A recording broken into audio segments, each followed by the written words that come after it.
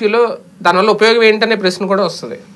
బేసిక్గా ఏంటంటే anti government అన్నది ఎస్టాబ్లిష్ చేయడానికి పనికొస్తుంది. దీంట్లో ఒక మంచి ఉంది ఒక చెడు ఉంది.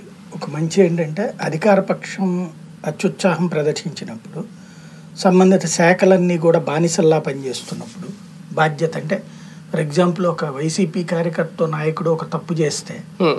అతనికి అండగా పోలీస్ శాఖ కానీ రెవెన్యూ శాఖ కానీ నిలబడి సామాన్యులకు ఇబ్బంది పెడుతుంటే హ్మ్. వేరే ప్లాట్ఫామ్ లేకపోతే వాస్తవంగా అయితే ప్రస్తుతానికి పెద్ద ప్లాట్ఫారాలే ఉన్నాయి ఈనాడు జ్యోతిను లేకపోతే తెలుగుదేశం ఈ ప్లాట్ఫారాలలో కూడా ఫోకస్ కాకపోతే హ్మ్.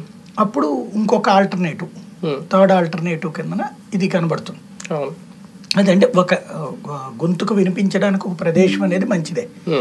అయితే బట్ ఏంటంటే యాక్టివిటీ ఏంటి? అసలు ఒకటి తీసుకున్నాక అది కంటిన్యూ చేయమా? అనేది ఒకటి ఆలోచించుకోవాలి. Hmm. ఇప్పుడు రోడ్ల గురించి యాజిటేషన్ పిలిపించాం.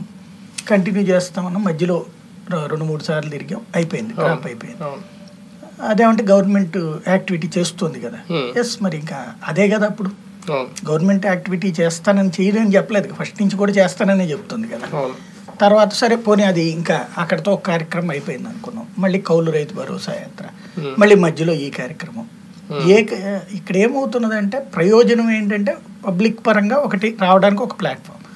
కానీ వీటిట్లో వచ్చేటువంటి ఈ కంప్లైంట్ లాంటివి ఎట్లా ఉంటాయంటే ఒక సైడ్ వెర్షనే వస్తుంది. అంతే తప్పించి రెండో సైడ్ వెర్షన్ రాదు.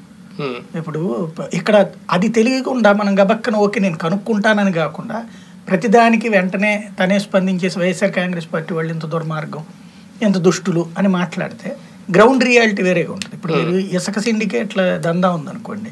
ఇసుక సిండికేట్లు దందా చేస్తున్నారని చెప్పేవాడు ఆడు కూడా దందానే చేస్తుంటాడు అంతే కదా. వాడు పక్కన దందా చేస్తూ వాడి దానికి ఇప్పుడు బ్రేక్ పడింది కాబట్టి ఇక్కడ చెప్తుంటాడు. హ్మ్.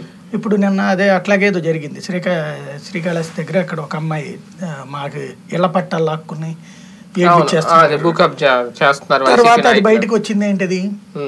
ఆ అమ్మాయికి ఎప్పుడో ఇచ్చినటువంటి దాన్ని ఆవిడ వాడుకోకపోతే ఇల్లు కట్టుకోకపోతే చంద్రబాబు గారి టైంలోనే దాన్ని క్యాన్సిల్ చేసి వేరే వాళ్ళకి ఇచ్చేయడం కూడా జరిగింది. అవును. ఆ కట్ తీసుకు